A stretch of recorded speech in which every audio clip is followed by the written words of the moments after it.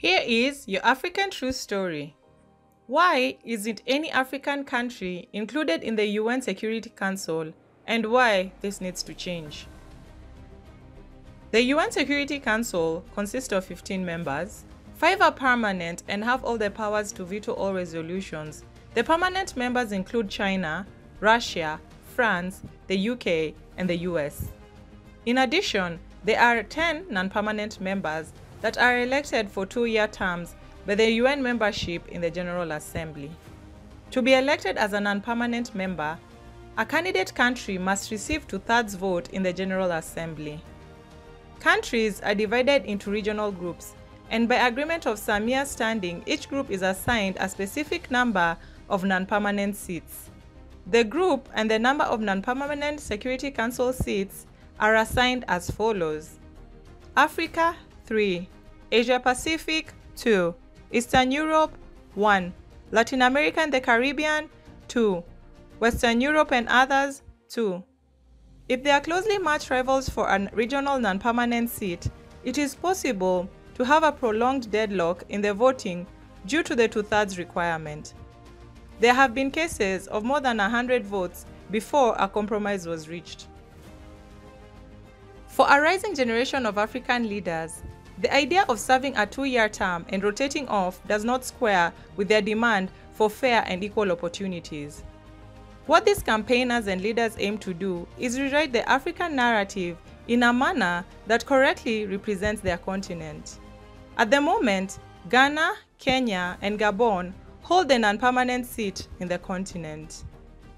The UN Security Council still, functions on a conventional framework which was written back in 1945 before the majority of African countries had gained independence from their colonizers, which is another fault to correct. This gap is all the less bearable because the African continent has dealt with issues threatening peace and security for centuries. Africa even was home to one of the world's first human rights charters, the Manden Charter, launched by the great Sundiata Keita, founder of Mali Empire, long before the English Bill of Rights in 1689 and France's Declaration of the Rights of Man and the Citizens in 1789, and perhaps even before the Magna Carta in 1215. The Security Council is especially important to Africa.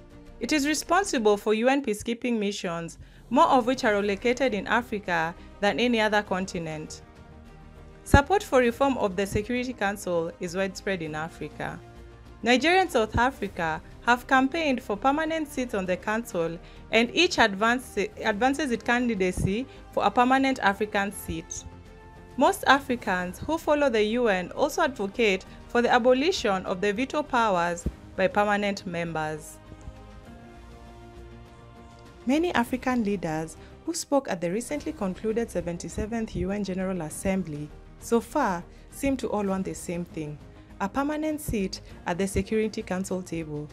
Africa has waited long enough and will not wait any longer, Ali Bongo Ondimba, Gabon's president, said, while Kenya's newly elected President William Ruto made his first appearance at the assembly calling for comprehensive reforms of the Security Council, stating that a just and inclusive world order cannot be spearheaded by a UN Security Council that persistently and unjustly fails at the inclusivity criterion. He added that it was vitally important for this critical institution to reflect the values it is entrusted to protect, defend, and uphold on behalf of humankind. The continent of 54 countries is battling an unfair multilateral system which brought about predominant speeches by at least five African countries from across the continent. The African quest for a permanent seat in the Council has gone on for decades. The African Union reached an agreement in Eswatini in 2005 demanding that the Council expand to include two permanent members and five seats for Africa.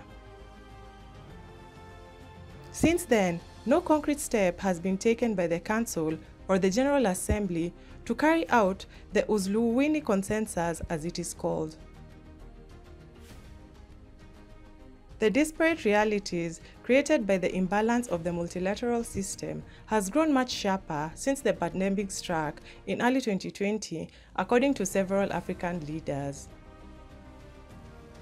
Time has come for the UN Security Council to be reformed, as it is a right of all people that inhabit the planet Earth to be fairly represented. Africa has a right for a permanent representation on the Council as a whole continent cannot be kept out of the UN Security Council by only five member states that monopolize it for their own benefits and personal interests.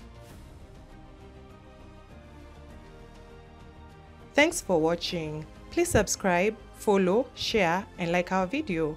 It's the best way of supporting us. And remember, Africa is watching.